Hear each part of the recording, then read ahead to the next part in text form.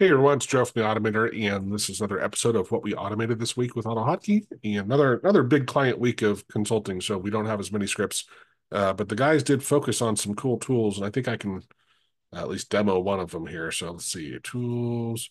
This is Prompt Assistant, by the way, really cool tool for launching things or doing hot strings. It's, it's this tool now. We wrote this. Uh, it's in a video on it if you want to find that for finding files that were recently edited.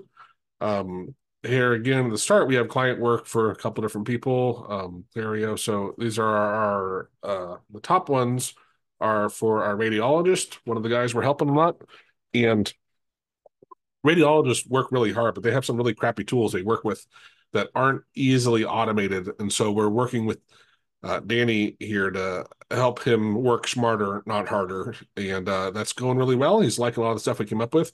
We also had a call, was it in here? No, I, oh yeah, with Michael. Um, we demonstrated, he was like, well, I have a list of things that after we sign off on it, I have to say they're not any of these. And he was thinking up an idea of how to do it. Um, he was using hot strings. So I'm like, hey, we could create a list, a GUI list where it would be like select all or select none, or you can check them and that way you can pick and choose because he probably wants um, eight out of the ten or you know five out of the eight or whatever. So we made him a nice simple tool as a demo because it was just a, a, let us show you what we've automated lately with him. And uh, he really liked that so that was that one.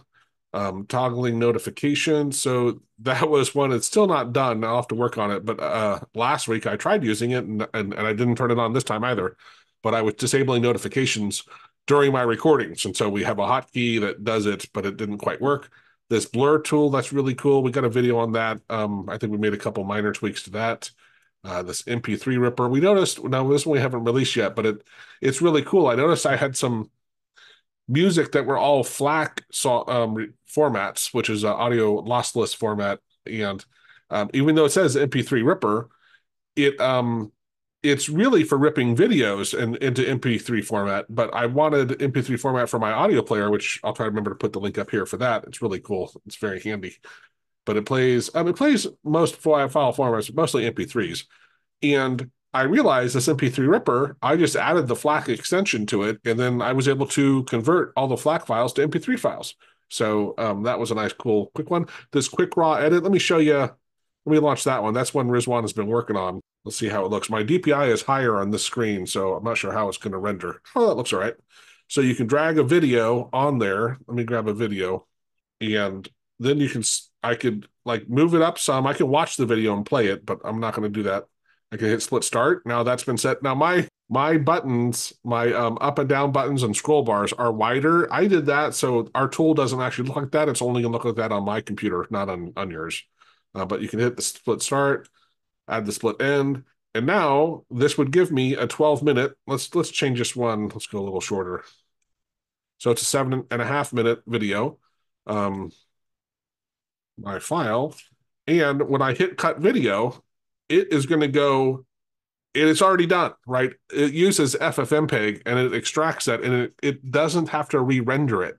So it's very, very cool. This tool, we're not, it's not out yet, but we'll have it out pretty soon. It'll, it'll probably be another like 599 price tag. You do have to have FFmpeg installed, but it's really, really cool. And I also realized because I, I did an extraction from an audio, like a podcast, uh, an MP3 file and I realized I can use this thing for audio files as well. So I played it, got to the point where I wanted, hit the split start, played it again, let it go for another, um, I think it was about 10 minutes. I hit end and then I hit my button and instantly had a file I could share with the hero members um, that was on handling, working with, um, you know, people that are negative and, and stupid, but, um, which is not something I'm great at. Anyway, um, so yeah, all of these were different stuff we were doing with that. Flexifinder, what I realized, and we're going to have to do a video on it, Flexifinder, it's cool, but the GUI uh, where you can select a hotkey is um, limited because we use the built-in hotkey selector that comes not it's not built in, but there's a function for it out there that's very common. But I use my caps lock and S to trigger it, and I realized that's not in there. And someone else complained. So first we edited the script where I could just say, "Hey, I want to set it myself." But what I realized is I could launch, I can use my other script, I can send the hotkey that I identify in Flexifinder, but I can use caps lock S. And if I set send level on both scripts, I can send that hotkey to that program and have it trigger. So I don't have to build that caps lock S in that tool, which is a much more complicated GUI. I can just set it to any hotkey and then I can hit what I want and basically, you know, transpose it. So it's really cool. Um, GUI tool. I can't wait to show you this one. It's not ready yet because um Irfan's been working on it and we're actually changing how it works because it did so well. But you hear us, you know, our, our intro to GUIs course, we have both in V1 and V2. It's a great course. And don't forget our courses have 200% money back guarantee. But we we constantly see people make videos or they come to us and they used an automation creation tool on like the like built in the site there's some sort of a GUI builder and it builds you can drag your buttons on there and it makes quote unquote makes a GUI for you but the GUI static in the coordinates and when you go to add something it, it becomes really problematic when you want to move stuff around which I've never seen someone create a GUI and then not have to change it after so our tool takes that GUI that was created and then you you identify an anchor and you say, okay, this is my anchor. This is the biggest piece or the piece that's most important. Redraw my GUI, and it takes all the elements, the controls, and makes them in size and location relative to that main anchor. And it's just beautiful because then they're all relative. And so if you add a new button or move it, it's not such a nightmare. So really, really cool tool. Um, Irfan's been doing a great job. He's been coming to us, and then Isaias and I give a little direction, but um, it's getting to be where it, it's going to be a really, really cool tool and help a lot of people. This GDI Plus, uh, well, we'll we'll get into the example here in a bit, I think, because I'm not sure where it's saved, but I know Irfan was working on that for me. Isaias made a couple updates to Prompt Assistant. That was that tool I mentioned at the beginning, does a lot of stuff. This regex tester we're working on to help show you where there are hidden keys because uh, not keys but um characters in your editor like the line feed or carriage return um also tabs and spaces uh, and, and, applying your regex on them so we're building a tool that'll make it a little easier for that um, that's still a quick blur. I mentioned that before. Screen scale. I honestly don't know what that is. I have no idea what that is which is hilarious. Um screen scale. I don't know. Um, step away alert. So this one we made it where I can hit a button, and of course this is so Irfan has a version, I have a version, and and soon Isaias and Rizwan will have versions.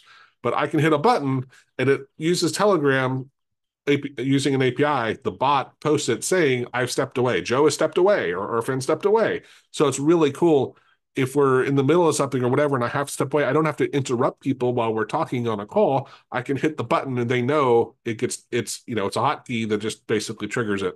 I use it with my Stream Deck, which is really cool because I can see it and just press it. But yeah, you can use a hotkey or anything you want. Tell us share. I'm pretty sure I should know what that is, but I'm drawing a blank.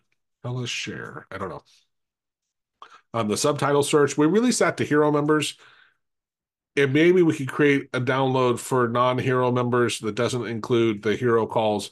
But the problem is it's a static snapshot. But we took our roughly 1500 videos, and we can also grab it from other channels as well on AutoHotkey. And we put the titles, the tags, the description, and all the subtitles timestamped into this SQL database. And then our GUI tool allows you to search, and it will show you every video where that term is mentioned and not only that, but you can, um, and it uses the rich text color thing, which is really cool because you can actually see it highlighted like in yellow on where it was found. But if you click that, it will jump in YouTube to that timestamp of the video. So it's really cool because I know some of our videos are quite long, right? Let's say we have a webinar of an hour long and we cover different things, but let's say we did some troubleshooting on one certain spot for using a COM object on Excel, let's say.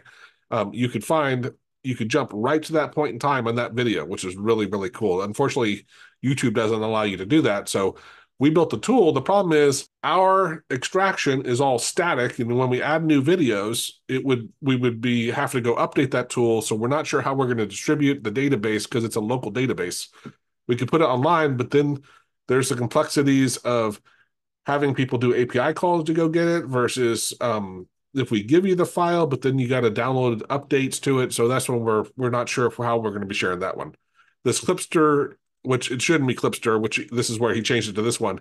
But we um when I do the newsletter every week, I'll be writing in Word to start, and then we convert it to HTML. But I select the URL of the YouTube video, I hit a hotkey, it goes and gets the title, uses the API to get the title, and the thumbnail for the unique ID of that. Well, what I asked Irfan to do was to take that thumbnail, download the thumbnail, overlay with GDI the red play button for uh, the YouTube video, and then upload that, which we haven't done this part yet, but upload that to our FTP folder. And that allows us to put in back into the thumbnail into our newsletter.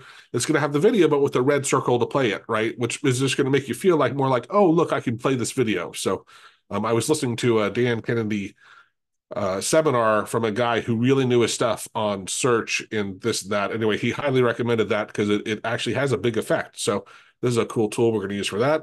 Um, and GDIP dev. So the, I was still related to that one. So again, not a lot of files uh, this week in what we've worked on, 34 as opposed to normally we've been doing double that easily. We were focused more, and we did other client work that's not listed here because the client work is actually done on their computer. But I hope you enjoyed that. Um, thanks for watching. And we're nearing 10,000 subscribers. So um, probably in this next week, we'll be, at, I think we're at um, 9,900 and uh, something. We're, we're getting down there. So uh, please subscribe if you're not a subscriber. It really helps us out. We release videos three times a week, and we're by far the largest on AutoHotkey channel. I like to think the best. But um, thanks for watching. Cheers.